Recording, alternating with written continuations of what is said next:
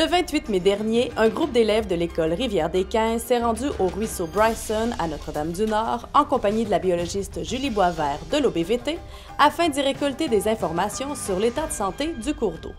Il y a deux objectifs principaux. Donc, euh, le premier, c'est euh, de sensibiliser les euh, élèves et les enseignants et leurs parents qui participent à l'activité à l'importance de la qualité de l'eau puis de la protection de l'environnement, finalement, à grande échelle, mais aussi de prendre conscience de ce qu'il y a dans nos cours d'eau puis pourquoi c'est important de le protéger.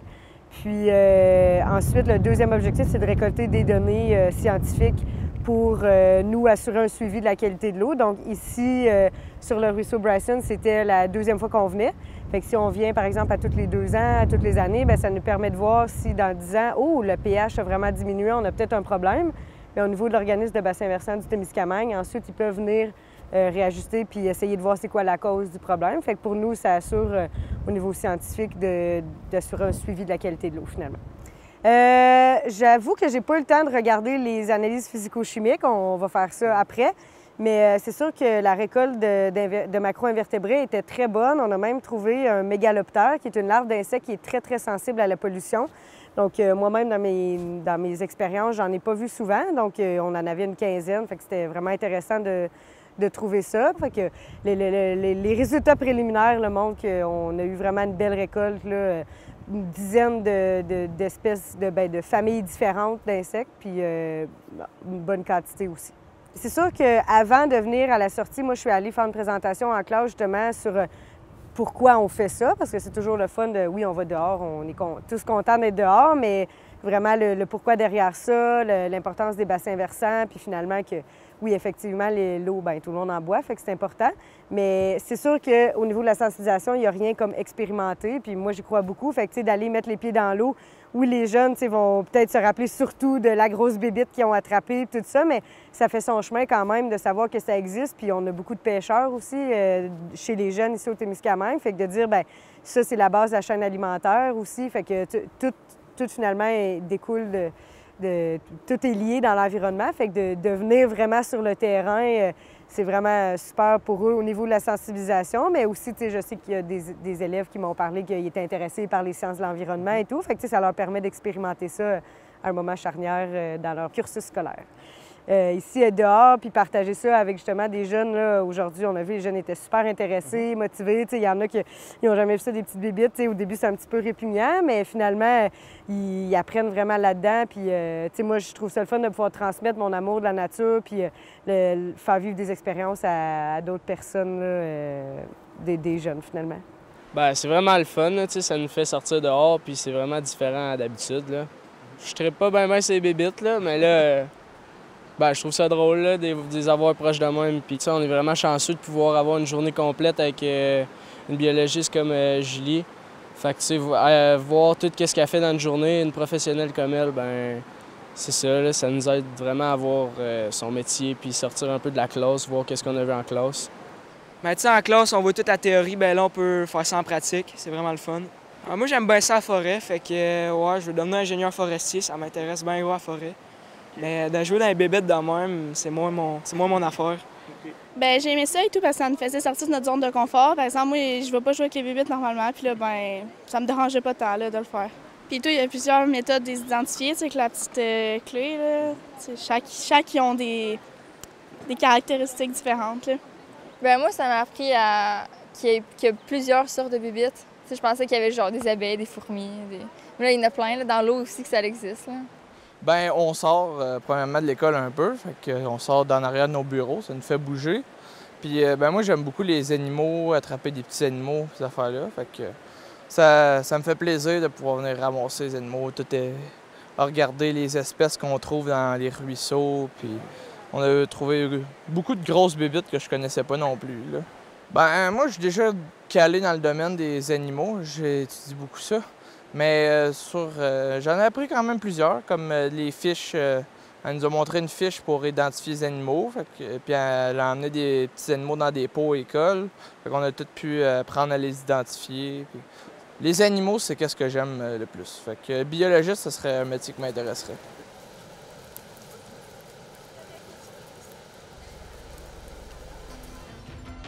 Le 8 juin, à Fabre, se tenait une étape du championnat de motocross MVA organisé par le comité MX Nord. Un rendez-vous pour les passionnés de sensations fortes.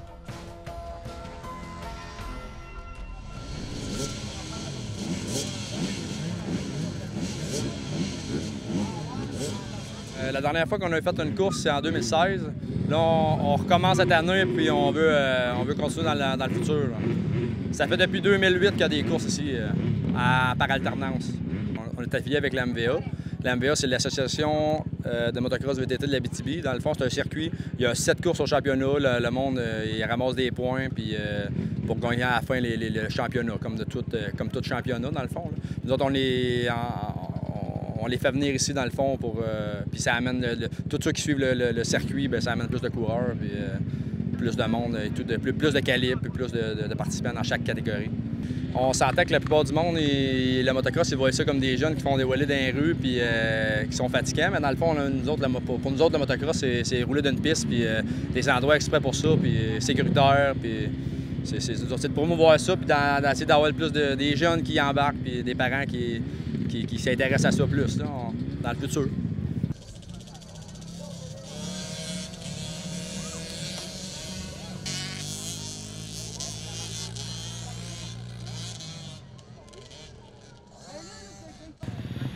Commencé à conduire des motos à un âge quand même de bonne heure. J'aimais vraiment être sur deux roues. J'aimais bien ça. Puis j'aime aller vite dans une piste de moto. Ça fait à peu près deux ans que je pratique ce sport. J'aimerais quand même continuer pour un couple d'autres années.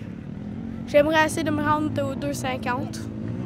J'ai commencé à faire du motocross pas mal en, en de 2004, mais j'ai commencé à courser en 2006. Puis là, euh, j'ai coursé euh, il y a une dizaine d'années, puis là, je suis, euh, je suis sur le déclin. Il n'y en a pas beaucoup. Il y a beaucoup de jeunes, mais dans la, mettons, vingtaine, trentaine, il y en a vraiment très peu. ici, au Témiscamingue, il n'y en a pas vraiment qui roulent, en tout cas dans des pistes comme ça. Peut-être qu'ils connaissent pas ça. Là. qu'on espère qu'avec les événements, ça va permettre de faire connaître le sport et qu'il va y avoir plus de filles. Je vais pouvoir avoir des, des partners. Les 29 et 30 juin, le Festival de l'Abitibi-Témiscamingue du Nord-Est ontarien a mis les voiles vers sa toute première édition, une initiative de trois mordus de navigation. Bien, en fait, dans le cadre du festival pour euh, démystifier la voile, les gens avaient, ont accès euh, aux, voiliers, donc ils peuvent aller sur les quais, visiter les bateaux jaser avec les plaisanciers, euh, regarder toutes, les, toutes les caractéristiques des bateaux. On a ici aussi sur le site euh, plusieurs activités, dont euh, des ateliers euh, ludiques, informatifs. On peut pratiquer des nœuds. on a accès aussi à la plage, location, bien, en fait, prêt d'équipement pédalo, canot, kayak, paddleboard. Donc, les gens peuvent aller jouer sur l'eau gratuitement. Le dimanche, euh, dans le fond, on a six voiliers, petits voiliers qui descendent à la marina de Ville-Marie. Donc, les gens, deux fois, six euh, le matin et six l'après-midi. Euh, petit cours théorique et on va sur l'eau vraiment pour de vrai, vrai, vrai. Donc, ça, c'est vraiment une initiation à la voile pour les vrais capitaines, aventuriers, concours d'habileté. Donc, aller chercher l'homme à la mer. Donc, il faut faut, faut que ça soit vite parce que sinon il coule. et euh, une régate de voilier avec des prix euh, à gagner. Ça, ça sera euh, demain dimanche. Donc, il faut beaucoup de vent. Donc, et pour terminer, peut-être samedi soir, cinéma plein air. Un petit film de 80 minutes de deux aventuriers québécois qui ont fait 7000 milles en voile. Donc, une vraie de vraie aventure. Peut-être même une petite coche de plus que le lac Témiscamingue. on a aussi un souper festif.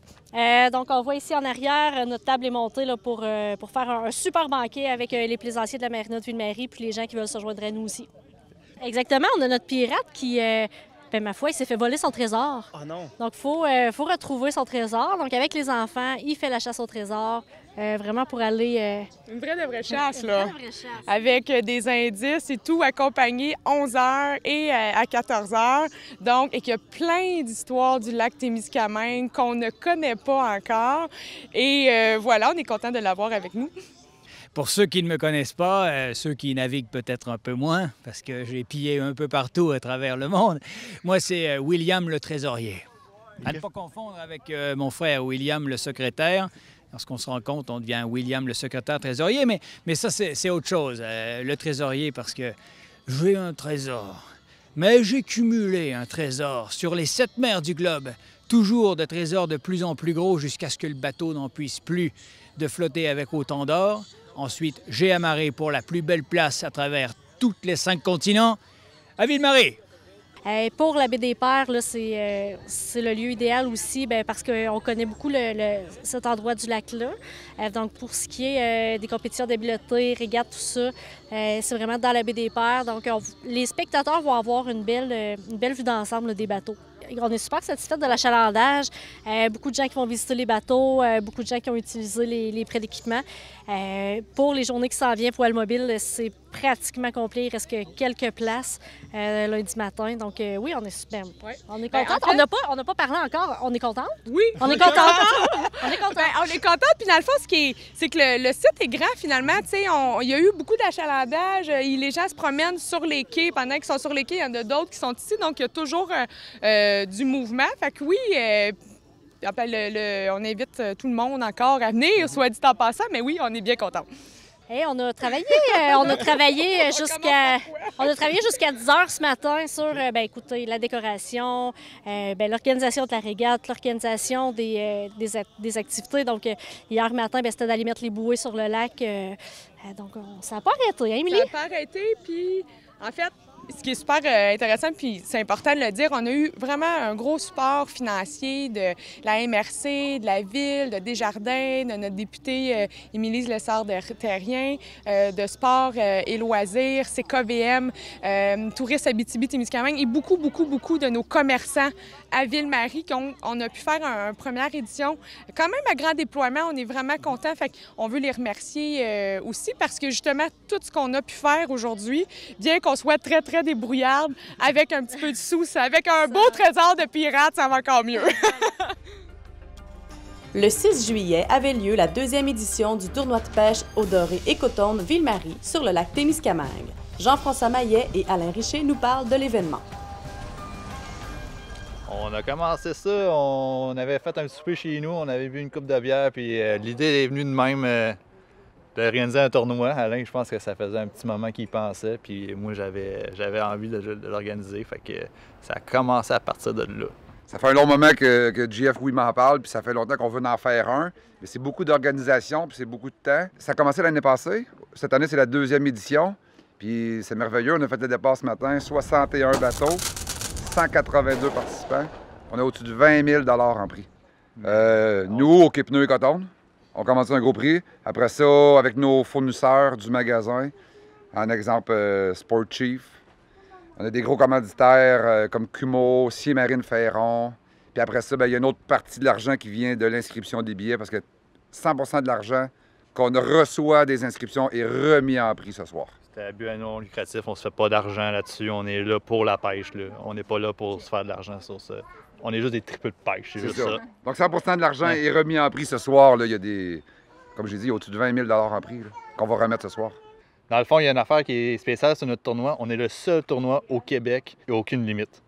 Aucune limite de grosseur de poisson, aucune limite de, longueur. Il n'y a aucun tournoi au Québec qui peut se permettre ça. Nous autres, parce qu'on est avec euh, l'Ontario, fait qu'on a des règlements de l'Ontario et du Québec. Fait que ça donne euh, on est Comme il dit, on est le seul lac il n'y a pas aucune restriction de longueur sur le poisson. Donc, on est le seul tournoi, comme Jeff a dit, mais pas juste au Québec, en Ontario. Il n'y a pas aucun autre tournoi qui se fait comme ça. On est le seul Québec-Ontario avec aucune restriction de longueur. Donc, on peut voir des très, très gros dorés arriver euh, et plusieurs. J'ai vu tantôt des, une équipe, ils venaient de Val d'Or, ils sont jamais venus à Ville-Marie de leur vie. Ils ont dit, euh, le gars, il dit, on s'en vient. Pour la première fois, là, ils savaient pas. Euh. On avait une team de La Sarge, une team de Rouen. Je sais qu'il y a du monde à Bannick qui sont, qui sont embarqués à Bannick en ce moment. Ben, on va voir ça à soir, là. Euh, on va voir la, grosseur des poissons qu'on va mesurer, puis à partir de là, on, on va mesurer des gros. Si vous êtes encore là tantôt, on va mesurer des gros dorés, c'est sûr, sûr, sûr. Le lac est plein de gros dorés. On a confiance en nos pêcheurs aujourd'hui. Un point important aussi pour tous les spectateurs, c'est que c'est un c'est un tournoi vraiment, vraiment participatif. On est des pêcheurs, comme mon ami JF a dit. 100% des dorés vont retourner à l'eau vivant. Si quelqu'un amène un doré qui est mort, disqualifié, on n'enregistre pas le poisson. Fait que tous les dorés vont retourner à l'eau. euh, c'est sportif. Écoute, euh, c'était difficile, euh, une journée difficile, bien les vagues, et puis on a pogné une dizaine à peu près. Euh, donc, euh, ça a quand même bien été. euh, une belle journée, on s'est amusé. hein? Ouais, il a fait chaud, on a pris du soleil, mais ça a vraiment été une belle journée. Et On en a gardé trois parce que c'était trois la pesée, donc on a gardé les trois plus gros. Le reste, on les a tout remis à l'eau. Ben écoute, on aurait aimé ça empêcher les plus gros. C'est hein? pas notre plus belle pêche, mais ça a été une belle journée quand même. là. On a tenté d'aller vers nos spots ce matin. Ça n'a pas été tant fructueux. On a fait une belle pêche d'après-midi, je te dirais. Euh, le matin était très difficile quand même. hein? On a En tenté- après-midi, on, s'est repris, mais euh, ça- après ça, on a eu un creux de vague là, vers la, la fin de la- de l'après-midi. On a eu une belle passe là, vers 2h30, 3h. Ben, on a débarqué à 8 heures, puis on a pêché jusqu'à maintenant.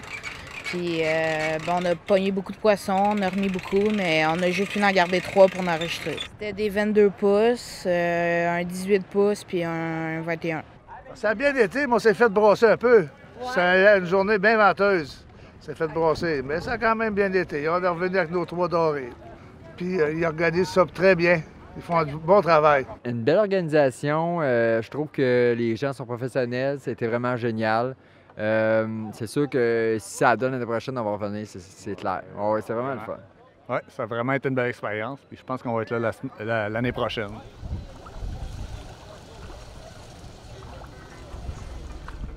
La Société d'histoire du Témiscamingue organisait pour la deuxième année une soirée de poésie qui avait lieu à la Maison du Frère Moffett le samedi 27 juillet. C'est plus facile quand ça reste dans des euh, fichiers Word puis dans des cahiers. Mais je vais essayer de vous livrer ça. C'est des textes un peu raboutés, là, mais je pense qu'il y a une certaine cohérence. Alors allons-y. Le sous-bois porte les fleurs des cornouillers et des cypripèdes en ornement. Nos peaux goûtent la wakine, effluves de boucan dans la chevelure. On relie nos piqûres comme les miettes de pain semées sur des chemins inconnus, comme la possibilité que tu repartes pas demain. Ça a débuté l'an passé avec euh, l'employé de la Société d'histoire. À un moment donné, on disait, bon, il faudrait avoir une fête pour euh, attirer les gens, autrement dit, à la maison faire Moffett. Et on avait pensé à ça, une soirée de poésie. Ils l'ont fait l'an passé, c'était fait à petite échelle. Cette année, on récidive. Puis euh, on avait la chance d'avoir euh, une poétesse, je pense qu'on peut dire, ici dans la région, Virginie Petosa Dussault, qui était une des premières à pouvoir éditer. Suite à ça, on a dit, bon, ben on se lance. Puis c'était le 70e anniversaire de la Société d'histoire. Et euh, c'est quelque chose qui me tient à cœur, ça. Moi,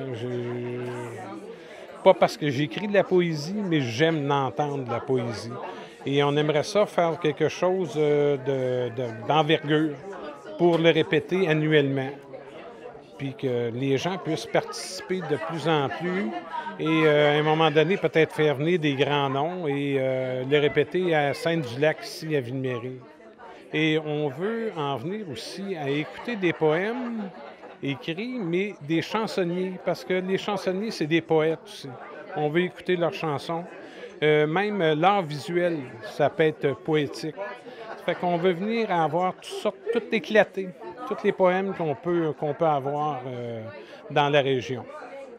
Ben oui, en fait, c'est une initiative de la Société d'histoire euh, du Témiscamingue dans le cadre de leur 70e anniversaire, mais c'est la deuxième fois euh, que cet événement-là a lieu. Elle avait eu lieu. Ça avait eu lieu aussi euh, à l'automne dernier.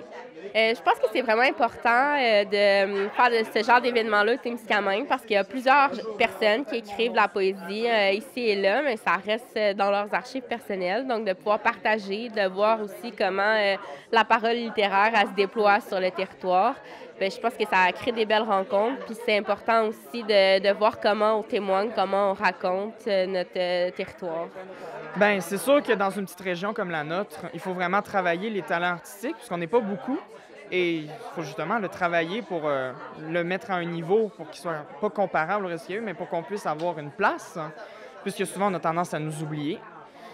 Et c'est justement, donc, travailler ces talents-là, faire sûr que ce soit pas euh, oublié ou laissé de côté. Ben, c'est très amusant. Tu vois à quel point il y a des gens talentueux ici. Et euh, c'est d'écouter, passer une bonne soirée en bonne compagnie. C'est vraiment euh, amusant et plaisant. Je jette les couvertures comme on jette les armes au pied du lit. Hier, les joues rouges, aujourd'hui, les songes creux, les paupières comme des volets, les mains boueuses, le corps jonché d'un calme plat. Sortir d'ici, voir les arbres au vent, jouer de la fulgurance, cet instrument en vent dans les voiles, mots ailés au coin des lèvres. Retourner au drap sale, chercher la tache d'absence, laver tout. Voilà.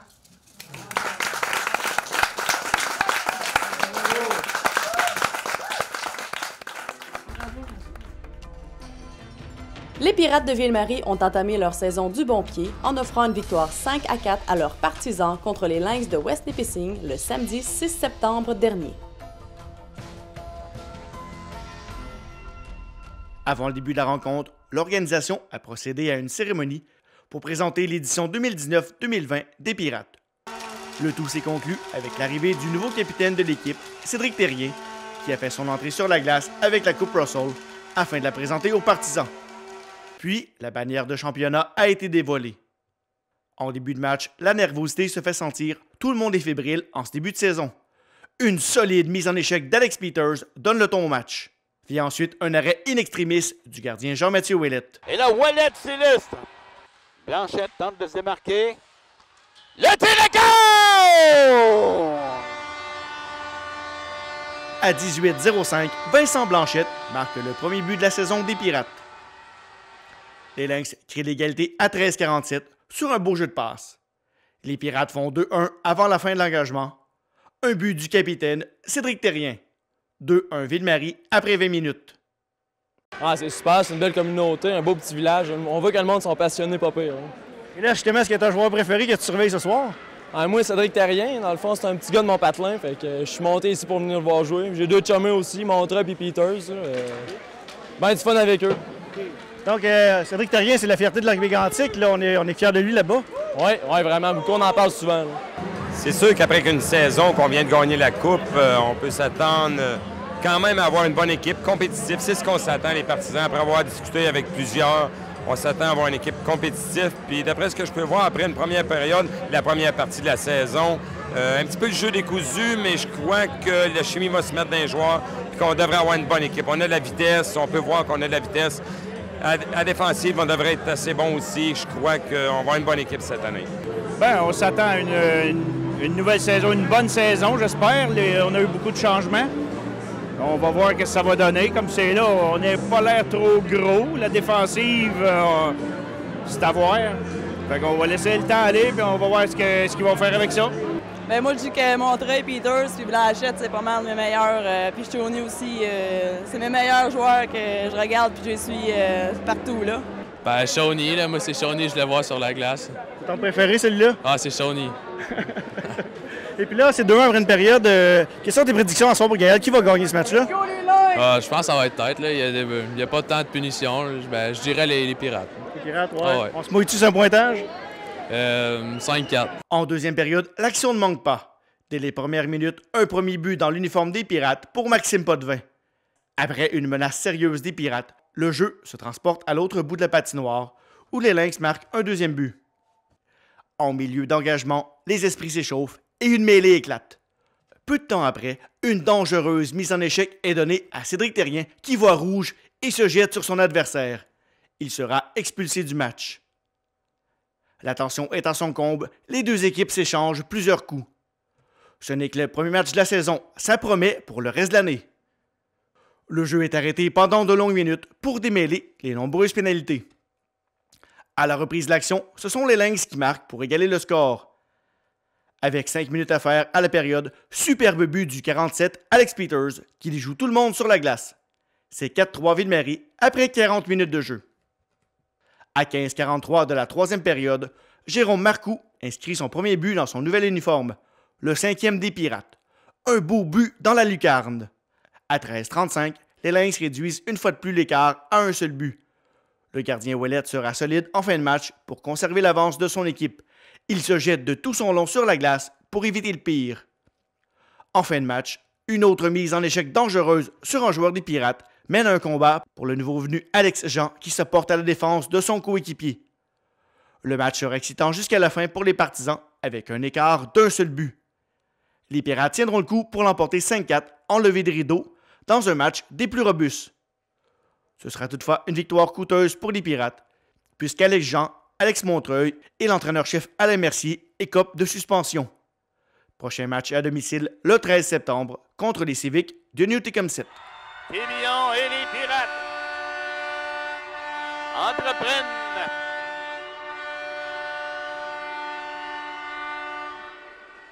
la défense de leur titre avec une victoire de 5-4. Je pense que l'ambiance était extraordinaire. C'est une des premières fois dans le junior que je vis une arena pleine de même. Je ne peux pas demander mieux. Euh, la foule était de notre bord. En, en embarquant tout de suite à la cérémonie, euh, on s'est fait accueillir chaudement. Ça a été le fun. Euh, ça a brossé pas mal cette game site. Il y a eu des moments, des temps morts dans le fond, là, avec les punitions et tout, mais à rester là pareil. Ça a été bien le fun. ben, c'était le fun, mais tu sais, il y a eu beaucoup de punitions, mais on a su garder notre calme et, et pas tout le temps pogner des deux, puis à, être, à être sans tâche. Ouais, ben, moi pas te mentir, c'était on a gagné, c'est l'important, mais ça n'aurait pas dû finir de même. Euh, euh, le momentum a été cassé. Je ne parlerai pas de ça parce que il y a des choses qu'on ne peut pas contrôler. Mais regarde, euh, en gros, on a gagné c'est ça l'important. J'ai pas vécu longtemps, j'ai pas été longtemps en arrière du banc. Mais écoute, on avait quand même fait une bonne préparation. on a eu une période sans, punition, tout ça, mais début de deuxième, c'est sûr que le timing, le, timing de la game n'est pas là. Euh, on a beaucoup de choses à, corriger, mais euh, les gars ils ont quand même gardé la, tête jusqu'à temps que ça, ça commençait à dégénérer par l'autre côté. L'autre côté, c'est le style de jeu, essayer de nous enlever le, talent qu'on avait sur la glace, tout ça. Puis euh, malheureusement, ben, avec les calls, puis les calls, les, les, mauvaises punitions qu'on a embarquées dans, ce pattern-là, ça n'a pas été l'idéal non plus. Là, mais on repart de là avec une win quand même.